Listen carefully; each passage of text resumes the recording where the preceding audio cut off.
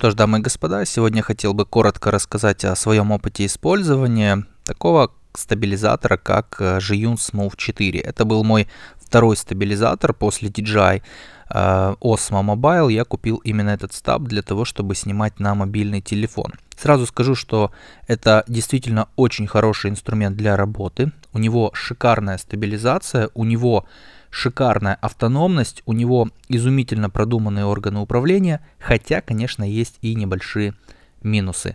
Начнем с того, что в комплекте идет шикарный штатив с хорошей прорезиненной площадкой, который я использовал для, ну, такая тренога компактная, которую можно использовать не только для этого стабилизатора, но я также использовал этот штатив для чего угодно. И камеру на него цеплял, и рекордер, и очень долгое время я использовал этот штатив даже не по назначению, а просто использовал для других устройств. Ну просто потому, что он очень удобный, очень крутой, компактный, легкий, прочный, и у него прорезиненные ножки, он изумительно стабильный. Конечно, в комплекте есть еще кейс, которым я практически не пользовался, потому что он достаточно громоздкий, и я переносил данный стабилизатор всегда просто в рюкзаке. А, также мне понравилось, что в комплекте идет хороший длинный USB Type-C кабель.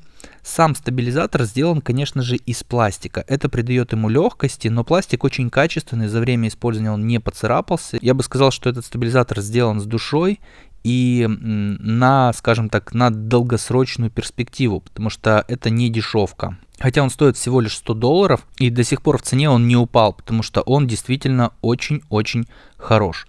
Э, смартфоны, которые я в него устанавливал, были совершенно разнообразные. От 5-дюймовых до 6 с копейками дюймов на тот момент, когда он у меня только появился. Тогда особо больших смартфонов не так много было. Mi Max 3 я в него устанавливал, и вроде как он с ним справлялся. То есть моторы не перегорели, все работает прекрасно. Сам стабилизатор весит 550 грамм, это позволяет его использовать в многочасовой работе без проблем, то есть он не тяжелит руку и, как мне показалось, даже с достаточно большими тяжелыми смартфонами пользоваться им достаточно комфортно. Где-то около 10 15, там, в зависимости от того, э, в каком режиме использовать стабилизатор, часов работы у меня выходило.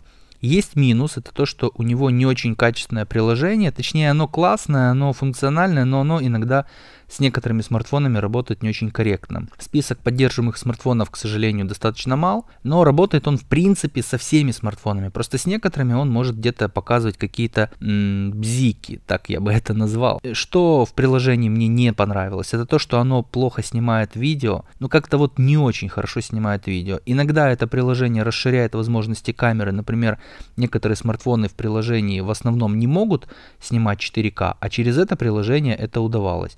И наоборот, некоторые смартфоны снимают Full HD 60 кадров, а в этом приложении от Jiyun они снимают э, только Full HD 30 кадров. То есть как оно работает, я так и не понял. Все подогнано четко, клавиши нажимаются отлично, он хорошо стабилизируется, то есть до того, как вы его включите, его нужно откалибровать, отстабилизировать, чтобы смартфон не заваливался. Все это прекрасно стабилизируется. Ну и, конечно, потом а, в режиме, когда вы уже его запустите, он стабилизирует картинку ну просто отменно. Особенно если у вас уже есть хоть какая-то стабилизация, ну желательно оптическая в смартфоне, например, у вас Samsung, то на выходе вы получаете практически киношную картинку. Стабилизатор компактный, очень легко складывается. Кнопка, курок, которая находится на э, задней части, которая многофункциональная, она в принципе сделана очень качественно. У нее есть пупырышки, то есть даже летом в жару, когда пальцы мокрые, влажные, можно без проблем все нащупать и использовать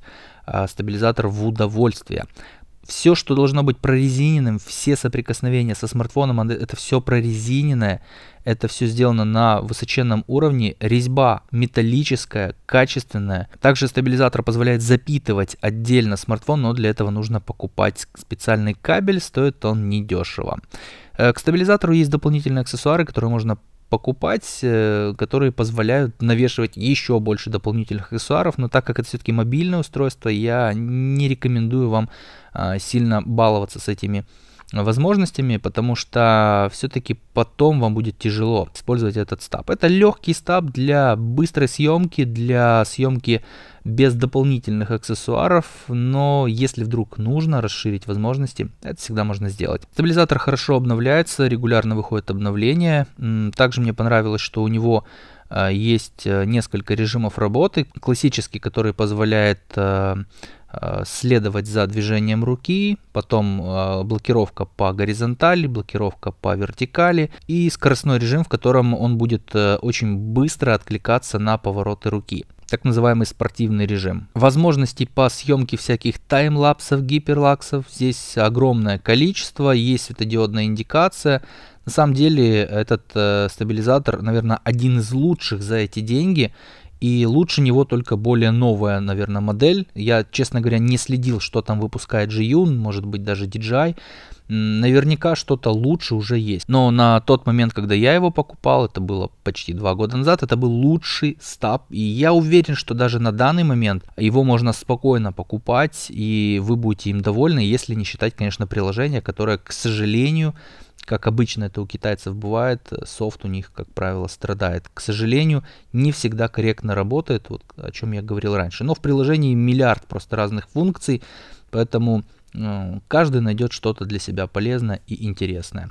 Спасибо всем за внимание, хорошего настроения. Пишите ваши мысли в комментариях. Ссылки, где можно купить этот стаб недорого, будут в описании. Там же будут ссылки на кэшбэк, чтобы сэкономить. Пока.